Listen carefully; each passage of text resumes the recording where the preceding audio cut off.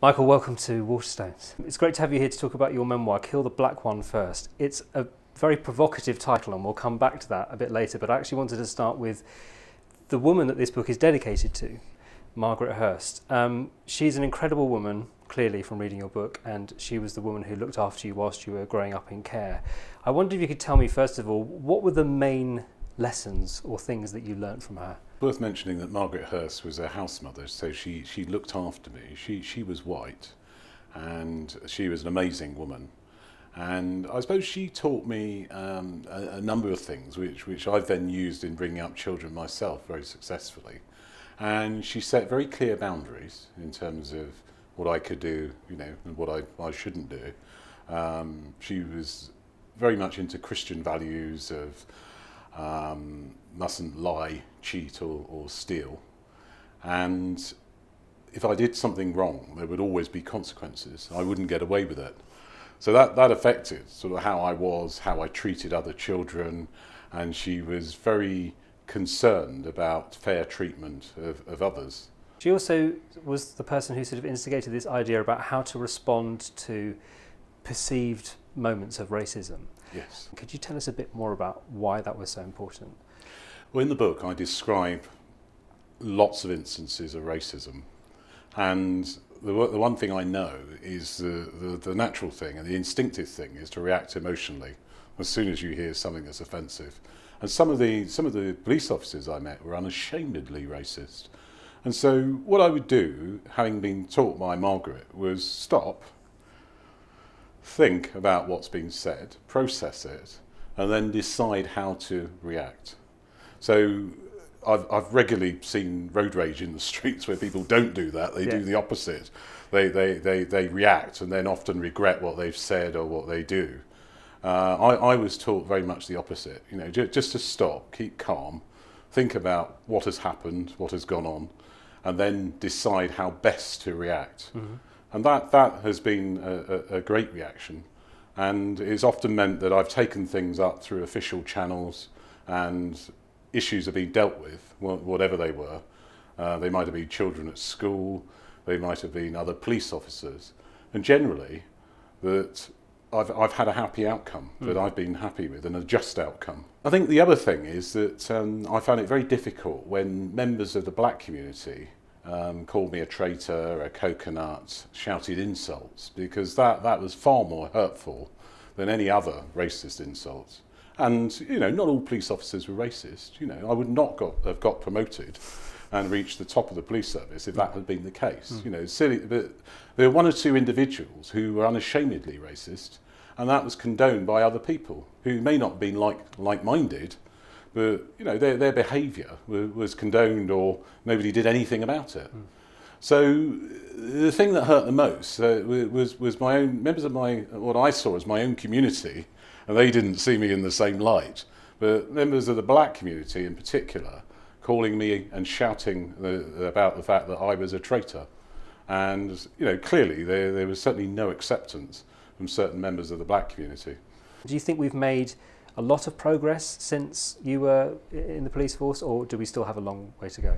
I think we have. I mean, certainly at the start of the book, um, clearly there was tremendous hatred towards the police. There, there, were lots of sins that I was bearing the brunt of. When, when I got off that uh, bus and walked into that riot, I, I, I was targeted, I was singled out uh, and I had a petrol bomb thrown at me. I didn't realise it was a petrol bomb. There, you know, there was very much the, the sound of breaking glass, um, and, and, and, somebody had shouted, "Kill the black one first. Um, I, I, uh, there was this strange sort of laughter, which I've described as guttural, mm. um, and I thought, well, maybe he's just joking.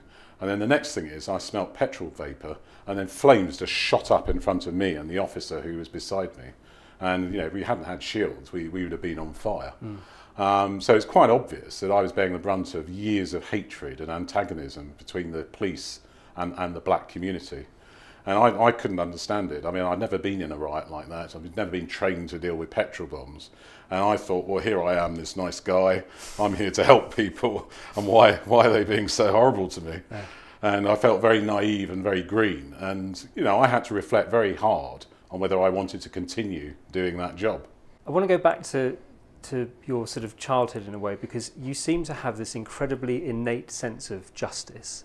And I wondered where it came from. And, and there is this recurring image in the book of, of a figure in a window because you saw a, a burglary being committed in, in the home in which you were being brought up. And I wondered whether that was where that sense of justice came from, or is it again, does it come directly from Margaret and that idea of there being consequences for, for you know, misbehaving? I think both. So, um, well, about the age of eight years old, the, the children's home I was in, so we all moved. So the good thing is I wasn't moved around. There was continuity of care, mm. and Margaret was a constant figure in my very early life, from the age of 18 months right through to 16 year old, years old, where sadly at 16 uh, she, she, she died. Margaret died of um, ovarian cancer. But she taught me the sense of justice. So the figure that um, you referred to that I saw in the window as he was leaving um, the window was was uh, a young boy, a lot older than me. I was eight years old. He was probably 17, 18, and he he was climbing out of the window. And he'd broken into the children's home, um, stole some money and valuables, and uh, it was very shocking. Called the police. And it was the local beat bobby who I knew who came round. Um, I remark about the fact our dog didn't bark and I was very disappointed. The following morning when I took the dog for a walk, I saw somebody and certainly the back of the head of a figure that looked very familiar. And um, I, I thought, well, that, that, that, that must be him. Anyway, I, excitedly, I, I ran to the local Bobby's house, which was about a mile, mile and a half away, which for me, you know, who enjoyed running, was, was no big deal. And the Bobby came back and he was, he was very quick to, to, to get ready. We went back to the park and the police officer spoke to this, this boy who, um, as, it, as it happened, he had our valuables on him and, and the money and the cash that he'd stolen and admitted that he had burgled our place the night before.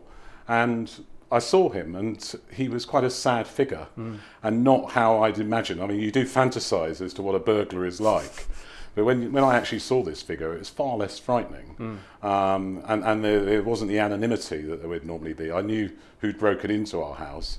And more important was that great feeling of satisfaction I got of getting our property back, getting the money back, and the fact that this, this individual hadn't got away with it. Mm. And maybe he would have been helped. He obviously had some problems or was homeless temporarily. Mm. But, but, but either way, it was a just outcome anybody who makes their first arrest at the age of eight is obviously destined for great things. I mean, the book is filled with not only sort of amazing achievements that you've had in your life, but also very moving details. And I think mm. Margaret is the kind of emotional anchor of that book. She's clearly an extraordinary woman, had such a yeah. positive outcome on your life. Definitely. Um, yeah. So it seems very fitting that the book is dedicated to her. But Michael, it's just brilliant to talk to you about, about this memoir. Thank you so much. Great. Pleasure.